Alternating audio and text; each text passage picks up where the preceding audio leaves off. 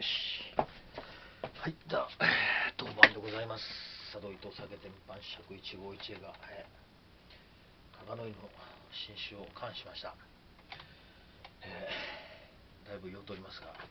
いつもの通り勘太郎君でやっております、えー、1号近く入れるとその、うん、いや適当に、途中で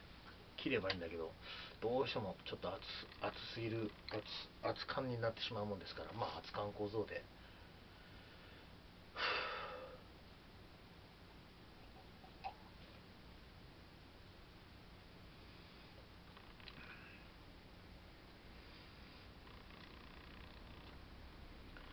適度な酸味と適度な適度、まあ、以上のガツッとくるスカスカッとするそのキレキレがキレの良さっていうか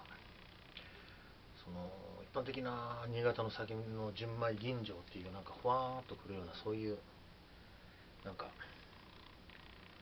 腰の柔らかさというか悪く言うなんていうか腰の柔らかさというかなんかそんなもんがない。なんかもうあの小イチを砥石できれいに研いでスパーンとなんかこう肉でも切ったような切れ味の良さというか非常に喉にスカッときます。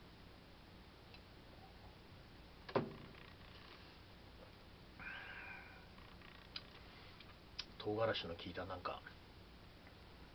あったけそばなんかいいかなって感じですか、えー、キムチ鍋みたいなのもいいのかなこういうの。また丸干し。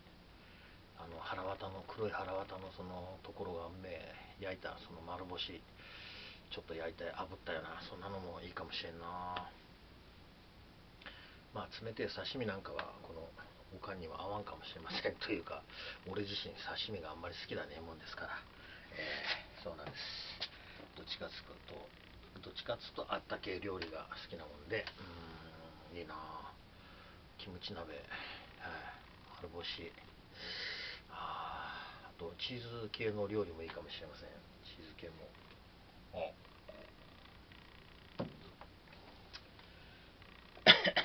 この酒の3年後が楽しみです。はい。どうなりますか？以上佐渡伊藤酒店晩酌一期一会でした